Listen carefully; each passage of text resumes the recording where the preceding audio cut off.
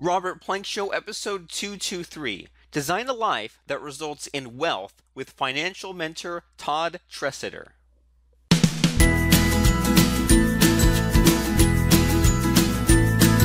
Hey everyone, and welcome back to the Robert Plank Show. This is the Internet Marketing Podcast where we talk about making money, internet marketing, building, growing a business, and we talk to all kinds of entrepreneurs as well about their stories, about their ups and downs, about their huge aha moments and takeaways.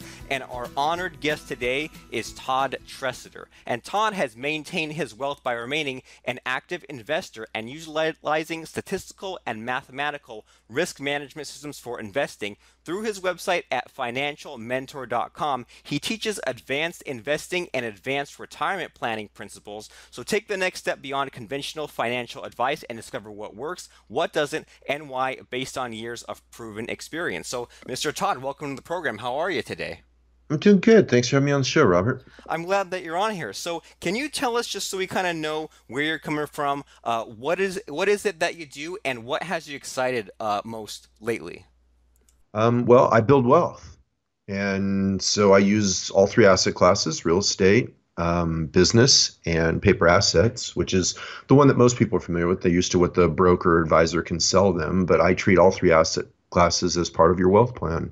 And so I build wealth and I teach wealth building.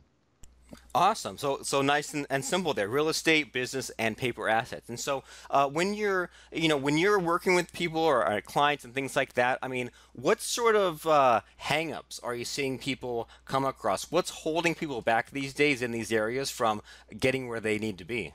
Oh my gosh, it's huge. I mean, we could spend five podcasts on that question alone. Um, you know, it depends on the person and the situation and the asset class they're pursuing and the strategy they're pursuing. So, I mean, I don't know. I don't even know where to grab that question, where where the hangups are. There's personal hangups. There's strategy hangups. Um, there's many, many, many hangups.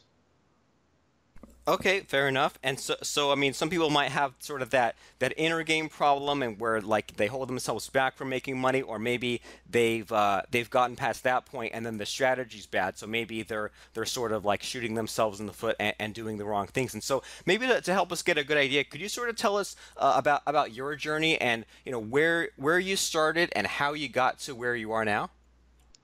So I came out of college, and I was I mean I was broke right? I mean, I'd gone into debt while in school. I didn't come I didn't come from a silver, you know, with a silver spoon in my mouth. I had to earn my way through school, uh, lumbered through. And so I had a passion for financial freedom. I'd spent a lot of time having limitations in my life based on lack of money. And I didn't like it. I saw a lot of my friends at school were doing a lot of cool things like traveling off to Europe for the summer and they had cars I didn't. They could afford to eat out. I couldn't you know, I used to cook meals for the fraternity just to pay my house bill. Um, so I worked my way through school and felt a real sense of um, desire for freedom in my life. I have a high value on freedom, and it wasn't there. And so, you know, I just said, well, you know, I'm going to have to lead an economic life. If I'm going to lead an economic life, I may as well design it to result in wealth. And it turns out that's a unique thought. I didn't think so at the time. It seemed obvious to me.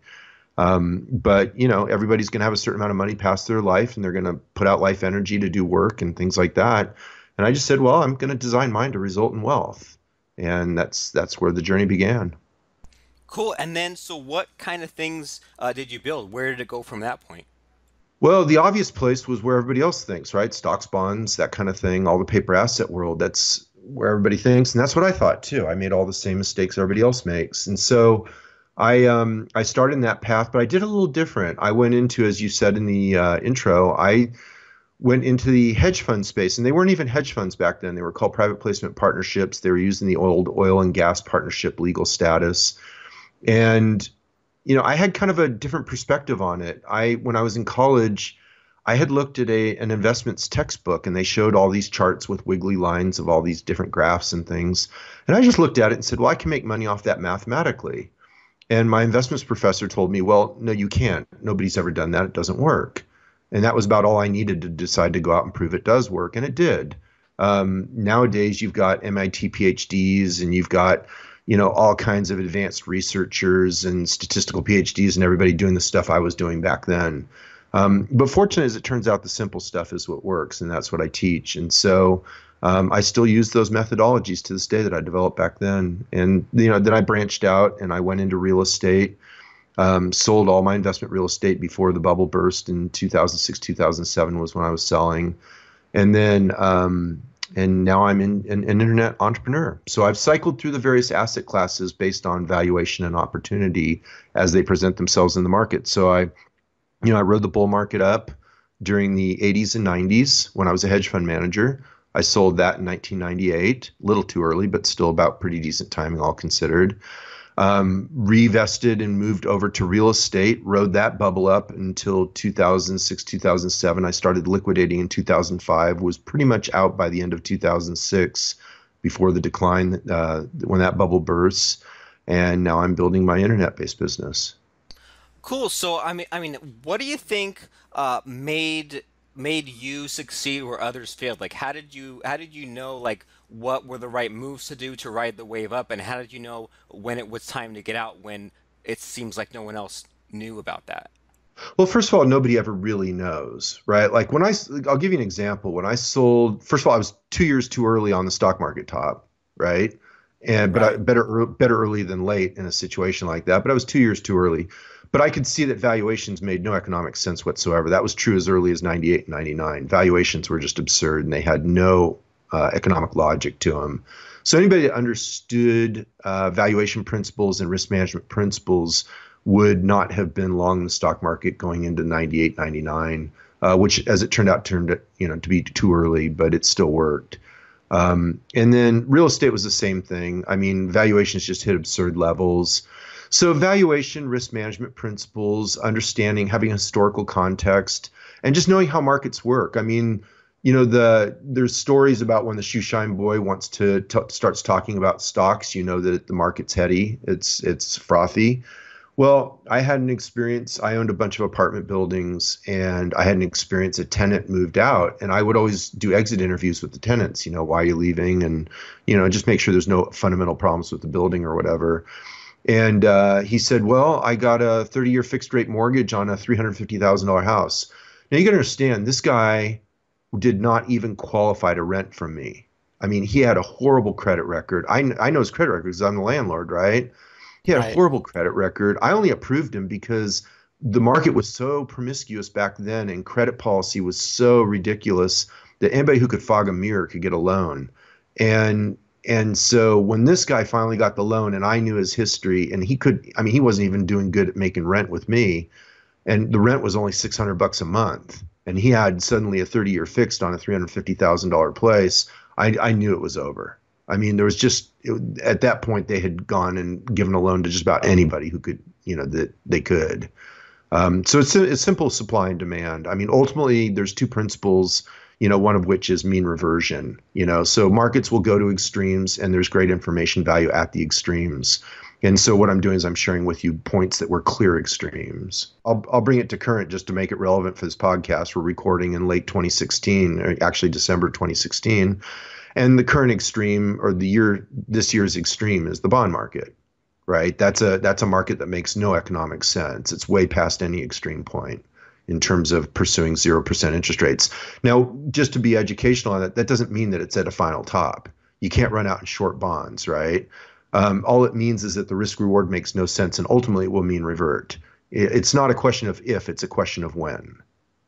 Okay, so when you're when you're sort of looking at these different, I guess like the the trends or the markets or whatever, and you're trying to decide, well, is is something on its way up or is the bubble about to burst? It sounds like you kind of have, have a blend between uh, these different tools between like the this logic and this emotion stuff. Like i keep hearing a lot of like will you do the like the, the math and the statistics on like the the charts and graphs and stuff like that. And it also sounds like you have some like you're somewhat of a of a have a have a, the right system or the right process in place. Because you mentioned that uh, when you rented out uh, apartments you had things like an exit interview. So you so you had certain sort of I don't know like like these systems in place to, to catch if something was quite wrong. And then you also have this element of sort of the the anecdotal uh, story or sort of the, the gut check feeling I mean is, is that about right do you kind of oh yeah actually that was very there?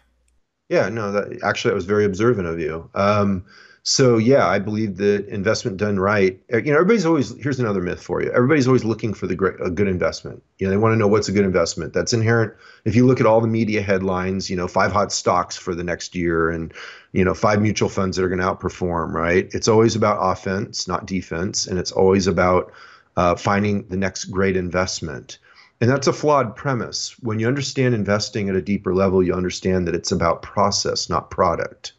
Okay, so everybody always wants to look at product, i.e., the next great investment.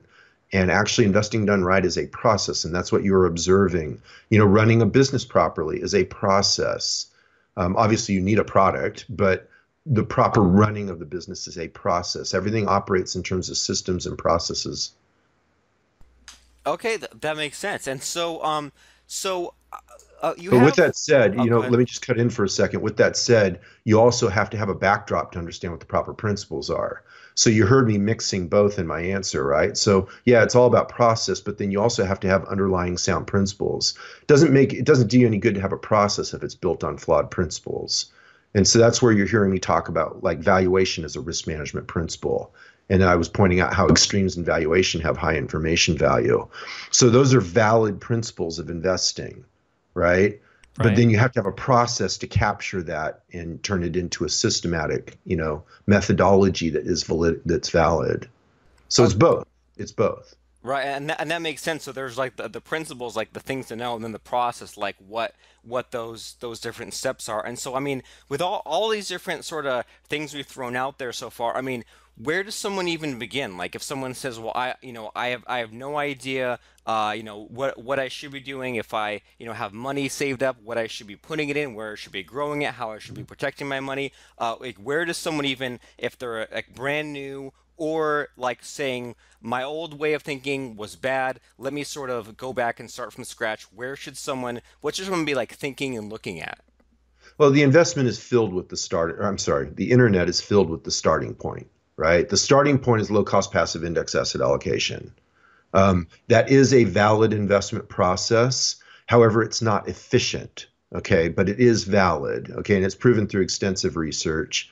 Um, and so that would be the starting point because it requires the least amount of knowledge and, and, it requires zero skill, right? Everything you need to know about low cost passive asset allocation you could learn in a, in a few paragraphs, but those few paragraphs are stretched out into books. And there's a handful of you know good books on the subject uh, that you can get from Amazon or anywhere for a few bucks. You don't even need to hire a money manager for it. It's that simple.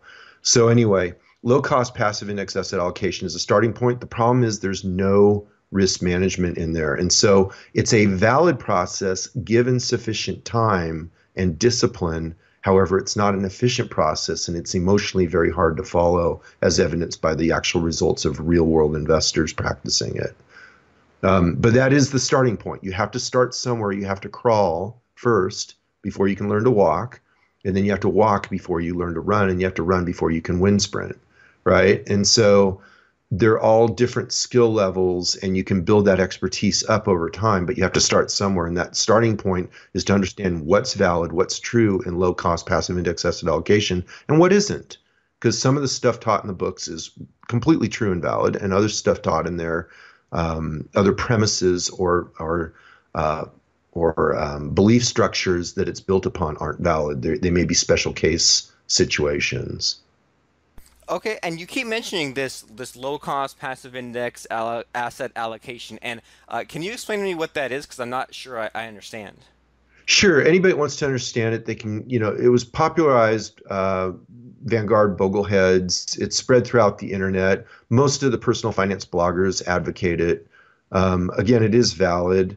The idea is that you diversify across low-cost index funds. So you might use the Barclays bond index, and you might use the S&P 500 for stocks, right? And you'd have an asset allocation. Maybe you'd have a little international. So you might have the Morgan Stanley, you know, the MSCI EAFE which is Morgan Stanley European, Australian, Far, Far East. Um, it, it, you know, so there's like these indexes that characterize certain market characteristics or mar- market profiles, and you'd build a portfolio of these low-cost passive indexes. The goal is to minimize your costs and to diversify in a low-cost way that approximates market returns. The premise is that you can't add value through skill, and therefore you want to get costs as low as possible and just accept market return and risk. And then eventually market return and risk will result in a positive return. And the reason that's true is the source of return is dividends plus economic growth. In other words, the source return from a stock portfolio is dividends plus economic growth plus or minus change in market valuation. And so when you have a low cost passive index portfolio, what you do is you accept the third component of the formula, which is plus or minus change in market valuation. You accept that uncontrolled risk in order to eventually receive the dividends plus economic growth, which are remarkably constant over time.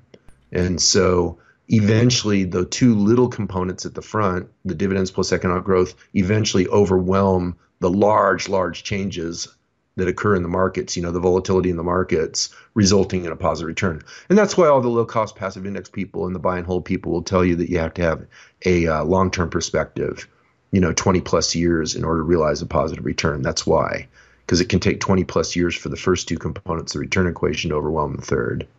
Okay, so so you're saying with all the all the ups and downs and like the 2000 bubble that burst and the 2008 bubble that burst, there'll be those ups and downs, but but this uh, this sort of beginner step into things. This is this is the buy and hold game. So you put your money in there, you, you let it ride. It'll go up and down, but eventually, over 20 years, uh, that because the economy grows and you get the dividends and all that stuff, uh, then over the long term, you'll make money. Again, and I, I want to be clear. I don't have a penny of my own money at risk on that strategy. Okay, you asked me where the starting point was, and I explained that that's the correct starting point and that's the correct place for people to begin because that's the foundation upon which more advanced strategies are built. That's a foundation that you have to understand in order to learn to walk and then run. That's the crawl stage. Okay. But so it is a it is valid and it is the starting point. Cool. So so that's the crawl stage. That's the starting point. And then once people get a handle on that, where should they be uh, then looking in, into? Um you know, it's going to, I mean, probably we've already overwhelmed people, Robert, with the stuff I've already shared for the crawl stage. Um, you know, I have whole courses on advanced investment strategy. And if we go into it, it's just, you know, it takes a course to develop the concepts properly. Okay. And so I'm concerned about trying to do it. I'm not trying to uh, be cagey or elude you. It's just that um, I don't want to confuse the listener and just leave them dropping off because it takes it takes something to really develop it properly. Well, fair enough. Well, then in, in that case, um, well, let's switch gears a little bit and then, and talk about some of those courses. So you, you have uh, these different courses that that can help people. So can you tell us about uh, you know what some of those courses are and what they're all about? Yeah, the course that's publicly available right now is all about how to develop your wealth strategy. So it's about how to design your life so that your daily actions result in wealth. So it's it's basically how I opened this interview, right? I said, "Hey, I had this crazy idea. As long as I'm going to lead an economic life, I may as well design it to result in financial independence." And it works.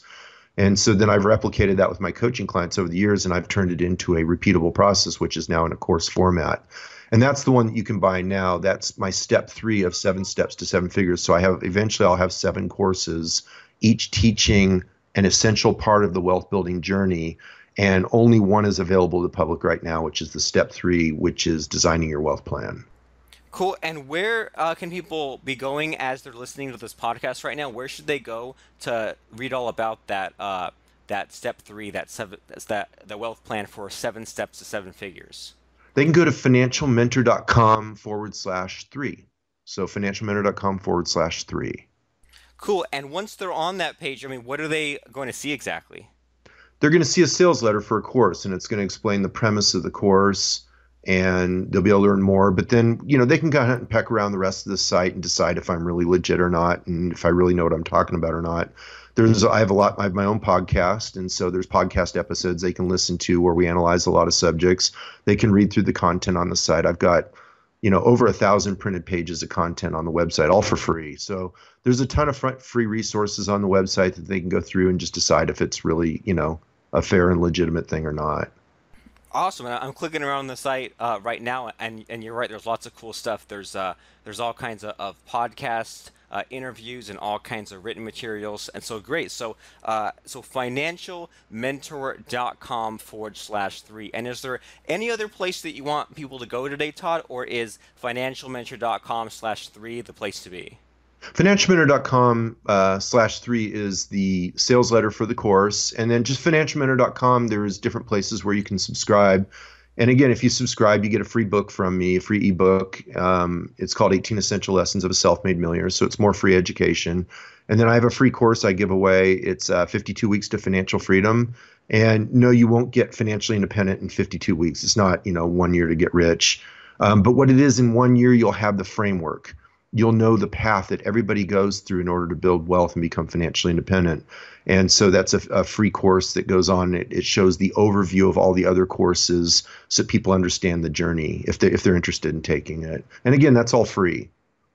Awesome. So lots of good stuff there. And and I think that this is one of the those subjects where I mean there is a lot to to sort of absorb. There's a lot of terms, there's a lot of things to understand, but I think that, and I think that you think too, that like everyone needs to to know some of this because I mean this is your this is your money, this is your life, this is your, your future and all that good stuff. And so I mean if you could sort of if you could uh, have a time machine and talk to your your past self, you know, 10 years ago, 20 years ago, uh, to sort of uh, help your past self avoid the mistakes or or do better. I mean, is there anything that you'd tell your past self if you could?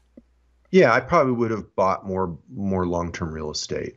I think that's one of the one of the few investment mistakes that I made was I didn't acquire more real estate very young and just hold it long term. Um, I think that's a, a, really smart strategy for people to implement. It's a very it's a very simple and intuitive way to become financially independent.